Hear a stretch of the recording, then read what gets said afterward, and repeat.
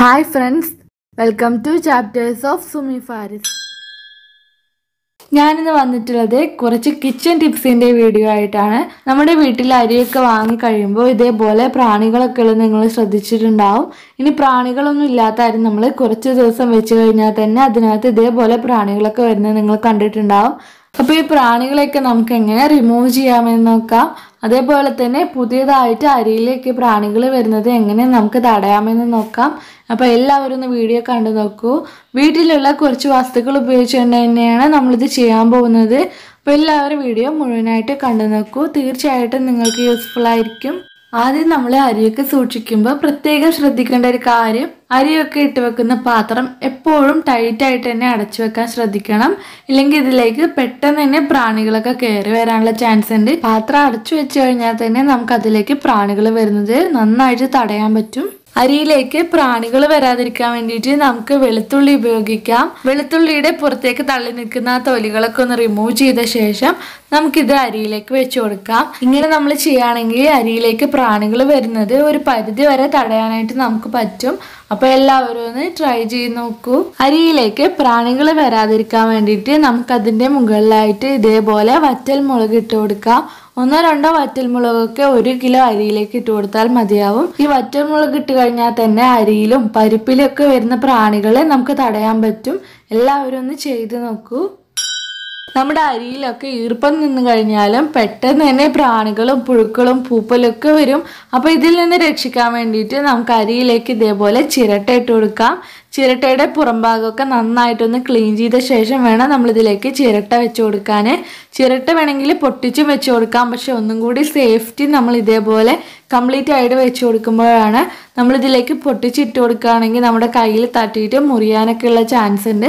അപ്പോൾ ഞാൻ ഇതേപോലെയാണ് വെച്ച് കൊടുക്കുന്നത്. ഇങ്ങനെ നമ്മൾ ചെയ്യുകയാണെങ്കിൽ അരിയിൽ വരുന്ന ഈർപ്പത്തെ ഈ ചിരട്ട വലിച്ചെടുക്കും. അതുപോലെ തന്നെ അരിയിലേക്ക് പുഴുക്കളും പൂപ്പലും ഒന്നും വരാതെ ഈ ചിരട്ട അരിയെ ഫ്രഷ് ആയിട്ട് തന്നെ കീപ്പ് ചെയ്യാനായിട്ട് സഹായിക്കും. നമ്മുടെ അരിയിലൊക്കെ ഓൾറെഡി പ്രാണികൾ കയറിയിട്ടുണ്ടെങ്കിൽ നമുക്ക് പെട്ടെന്ന് തന്നെ അവയെ ഓടിക്കാൻ ചെയ്യാൻ പറ്റുന്ന ഒരു ട്രിക്കാണ് അതിലേക്ക് ഇതേപോലെ ഗ്രാമ്പ് വെച്ച് കൊടുക്കാം.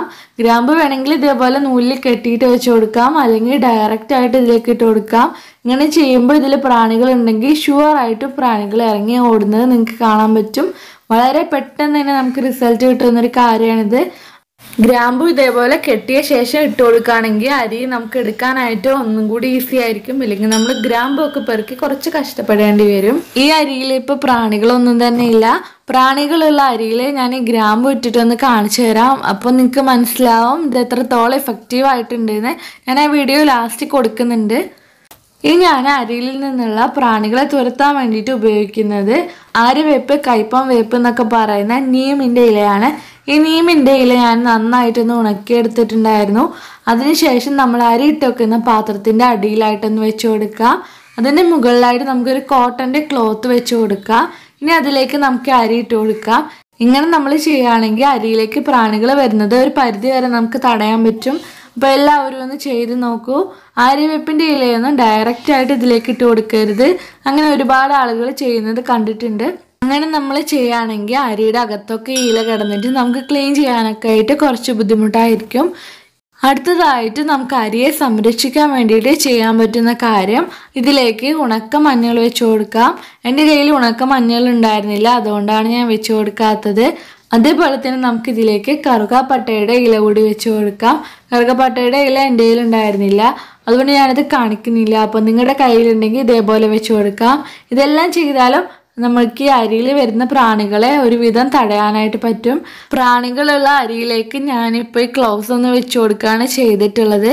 ഇപ്പോൾ തന്നെ നിങ്ങൾക്ക് കാണാൻ പറ്റും. ഇതിട്ട് കൊടുത്ത ശേഷം ഉടനെ തന്നെ അതിൽ നിന്ന് പ്രാണികളൊക്കെ ഇറങ്ങി ഓടുന്നത് നിങ്ങൾക്ക് കാണാൻ പറ്റും.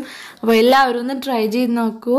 ഇംഗ്ലീഷിൽ റൈസ് വീവിൽസ് എന്നറിയപ്പെടുന്ന ഇതിനെ നിങ്ങളുടെ നാട്ടിൽ എന്താണ് പറയുക എന്നുള്ളത് താഴെ കമന്റ് ചെയ്യാൻ മറക്കരുത്.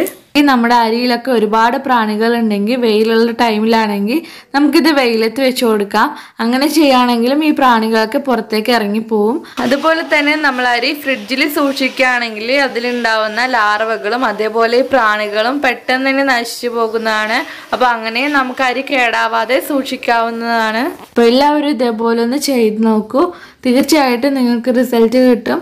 അതേപോലെ തന്നെ നമ്മൾ ഈ പ്രാണികളെ കളയാനായിട്ട് നമ്മുടെ വീടിന്റെ പുറത്ത് വേണം ഇത് വെച്ച് കൊടുക്കാനായിട്ട്. ഇല്ലെങ്കിൽ ഈ പ്രാണികൾ പിന്നെ നമ്മുടെ അരിയിലേക്ക് ഇൻഫെക്റ്റ് ആവാനുള്ള ചാൻസ് ഉണ്ട്. അപ്പോൾ എല്ലാവരും ഇതേപോലെ ഒന്ന് ട്രൈ ചെയ്ത് നോക്കൂ. ഈ ട്രിക്കുകളിൽ ഏതെങ്കിലും ഒന്ന് നിങ്ങൾക്ക് തീർച്ചയായിട്ടും യൂസ്ഫുൾ ആയിരിക്കും. അപ്പോൾ എല്ലാവരും ഒന്ന് ട്രൈ ചെയ്ത് നോക്കിയിട്ട് നിങ്ങളുടെ ഫീഡ്ബാക്ക് അറിയിക്കാൻ മറക്കരുത്. ഈ വീഡിയോ നിങ്ങൾക്ക് യൂസ്ഫുൾ ആയിട്ടുണ്ടെങ്കിൽ നിങ്ങളുടെ ഫ്രണ്ട്സിനും ഫാമിലിക്കും ഒക്കെ ഷെയർ ചെയ്യാൻ മറക്കരുത്. ഇതുവരെ എന്റെ ചാനൽ സബ്സ്ക്രൈബ് ചെയ്യാത്ത ആരെങ്കിലും ഈ വീഡിയോ കാണുന്നുണ്ടെങ്കിൽ ദയവായിട്ടൊന്ന് സബ്സ്ക്രൈബ് ചെയ്യണേ. അപ്പോൾ ഇതേപോലെ യൂസ്ഫുൾ ആയിട്ടുള്ള ടിപ്സുമായിട്ട് വരുന്നത് വരേക്കും. Bye thank